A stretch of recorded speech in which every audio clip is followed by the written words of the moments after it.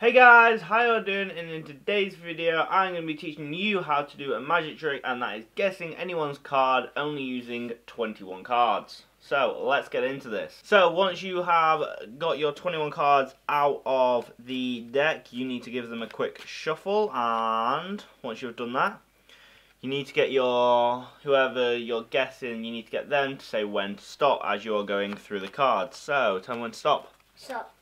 Right, okay, so that is your card, right? See that? Yeah. 100% clear? Yes. 100%. Yes.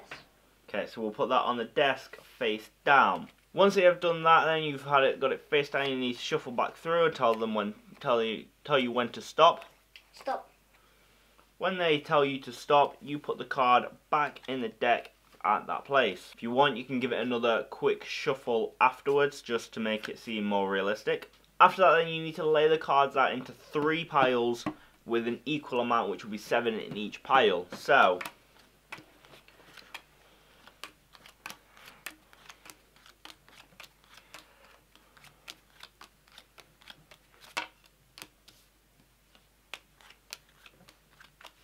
Right, which pile is your card in? Furthest one.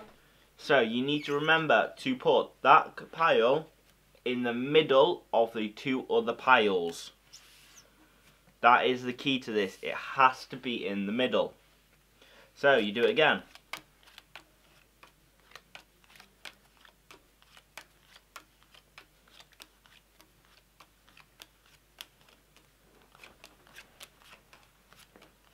Which pile is your card in? Closest one to me.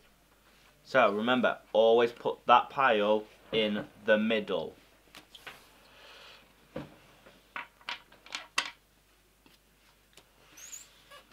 So you do it for a third time.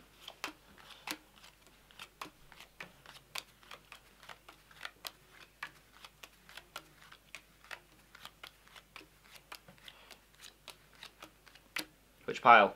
Furthest one away from me.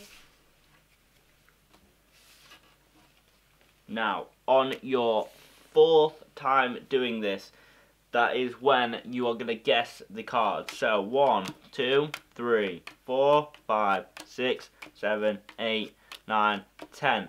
Now, the trick is the 11th card is always going to be their card. So, this is the card that was pulled out of the deck, which is the Ten of Hearts. Now, you've got to remember, it's always the 11th card on the fourth attempt. As long as you can remember that, you can guess their card very, very easily.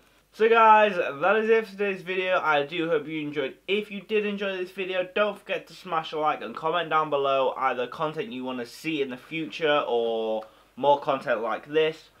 If you're new around here, hit subscribe, and while you're down there, hit that notification button to get notified when we do upload, and apart from that, we will see you next time. Goodbye.